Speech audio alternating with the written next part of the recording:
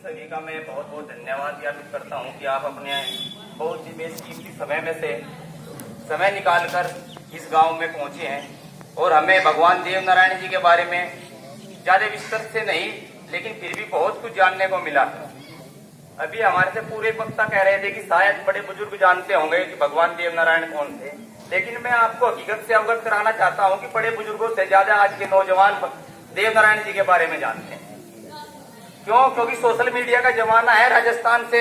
जितने भी हमारे साथी जुड़े हुए हैं फेसबुक व्हाट्सएप के ज़रिए, आज उन्हीं की बदौलत हम लोग जो है भगवान देव नारायण को जान पाए हैं। पिछले साल की बात है, जब इसी गाँव में पुस्तकालय के बारे में विचार हुआ तो विचार हुआ कि किस नाम पर एक पुस्तकालय का निर्माण किया जाए।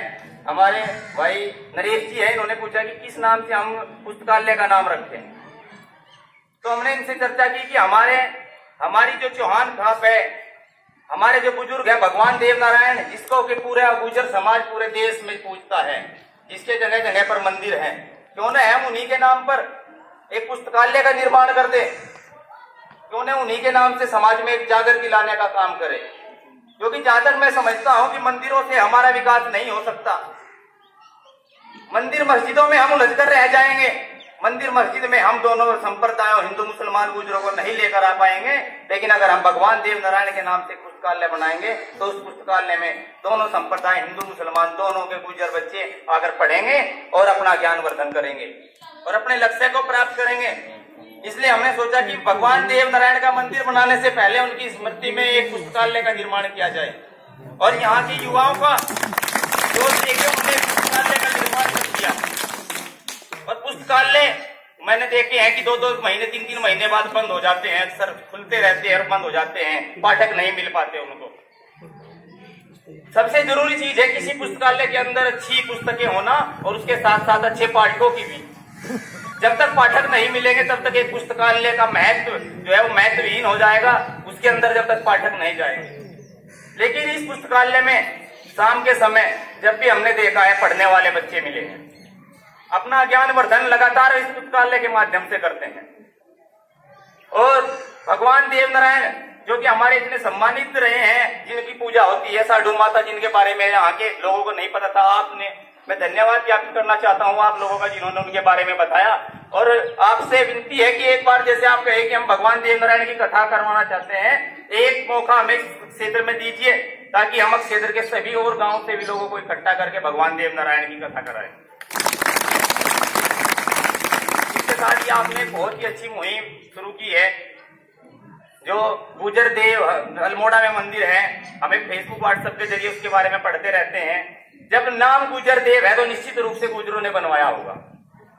गुजर नाम ऐसे ही किसी मंदिर के सामने नहीं जुड़ गया। हमारे नाम पर, गुजरों के नाम पर बहुत सी स्थानों के नाम है, लेकिन इतिहास में उन चीज़ों को हमें नहीं पढ़ाया जाता। क्यों? क्योंकि हमारा शासन ग्यारहवीं शताब्दी से पहले रहा है और इतिहास लेखन का काम ग्यारहवीं शताब्दी के बाद हुआ है। ग्यारहवीं शताब्दी से पहले कागज़ पर नहीं लिखा जाता था, हमारे इतिहास लिखने वाले लोग नहीं मौजूद थे। इसलिए हमारा इतिहास लगातार दबाया गया। हमारे इतिहास की बजाय उसी इतिहास को राजपूत इतिहास के नाम से पढ़ाया जाता है, जो गुजरों का गौरवमय इतिहास रहा है। आज ही की बात है, सुबह के टाइम में मुरैना जिला मध्य प्रदेश में चौसठ योगिनी मंदिर है, जो गुर्जर प्रतिहारों ने बनवाए थे। एक साल पहले मैंने उन मंदिरों के बारे में पढ़ा था, तब साफ़ तौर पर लिखा हुआ था कि गुर्जर प्रतिहारों ने इन मंदिरों का निर्माण कराया है। आज भी मैं उसको सुबह पढ़ा, उसमें कहीं भी गुर्जर शब्द का नाम नहीं था, केवल प्रतिहार राजाओं का नाम था। क्या ये षड्यंत्र नहीं है हमारे गुर्जरों के साथ में? कि चाहे इस वंश का नाम गुर्जर और प्रतिहार दोनों को मिलाकर गुर्जर प्रतिहार बनता है, उस वंश को आज प्रतिहार के नाम से पढ़ाया जाने लगा है। क्यों? क्योंकि जो इतिहास में आपका एक वंश दिखाई देता है गुर्जर प्रतिहार, उसको भी लगातार समाप्त करने की कोशिशें हो रही है। जब तक हम जागरूक नहीं होंगे, तब तक हम अपने इतिहास को पुनः जीवित नहीं कर पाएँगे और अपने इतिहास को नहीं बचा पाएँगे। दूसरी एक और बात मैं आपको बताना चाहता हूँ, जनवरी महीने से एक फ़िल्म की शूटिंग होने जा रही है, पृथ्वीराज। इस फ़िल्म में पृथ्वीराज को जो है राजपूत दिखाया गया है। चौहानों को राजपूत करार दे दिया जाएगा, अगर हम उस फ़िल्म का विरोध नहीं करेंगे। क्यों? क्योंकि आज के टाइम में इतिहास पढ़ने की का समय ज़्यादातर लोगों के पास नहीं है, लेकिन फ़िल्में ज़रूर देखते हैं। अगर किसी फ़िल्म में उसको राजपूत बता दिया तो हम क्या करेंगे चौहान लिख के? क्या अस्तित्व रह जाएगा हमारा चौहानों का, जब उसको राजपूत करार दे दिया जाएगा?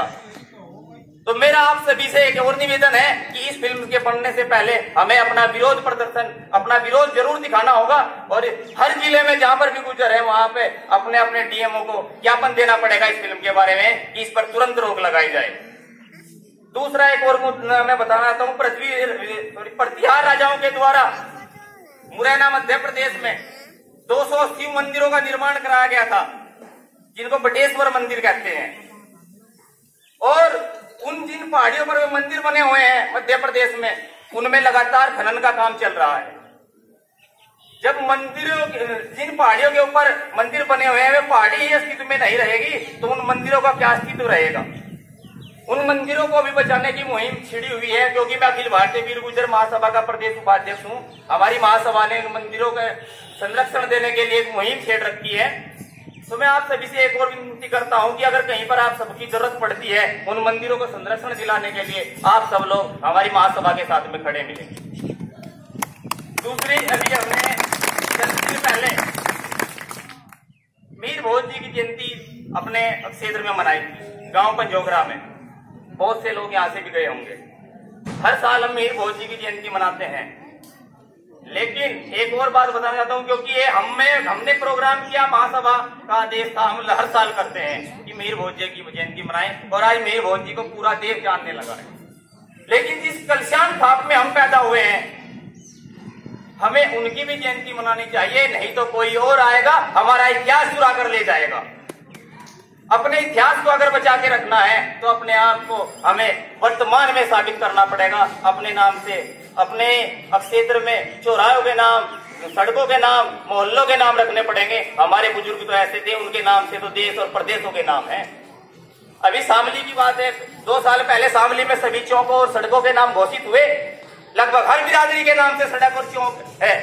लगभग हर बिरादरी के नाम से गलियाँ हैं, लेकिन इस शामली जनपद के अंदर चौरासी गाँव गुजरों के है। किसी भी एक गुजर के नाम से एक गली या एक मोहल्ले का नाम नहीं रखा गया। क्या हम इस ज़िले में मौजूद नहीं है? एक तरफ़ तो हम अपनी सबसे बड़ी राजनीति बताते हैं कि हम चौहानों का पूरे जनपद में डंका बोलता है राजनीति में। क्या हम एक चौक भी ले पाए अपने चौहानों के लिए या अपने किसी भी गुजर के लिए?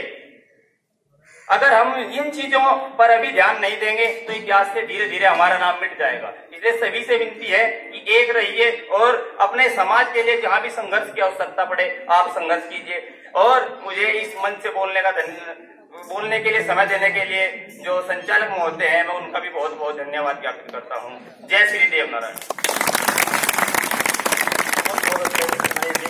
हवाओं पर ही हमेशा इल्ज़ाम रख कर चलना। हवाओं पर ही हमेशा इल्ज़ाम रख कर न चलना, अपनी साँसें में चिराग बुझा देती है। कौन करता है इसका? आप तो जो राजनीति में पकड़ रही है, आप आप करते क्यों नहीं किया? करो, आगे करो बहुत हम आपके साथ रहे आइए अब जो है कुछ प्रतिभाएँ हैं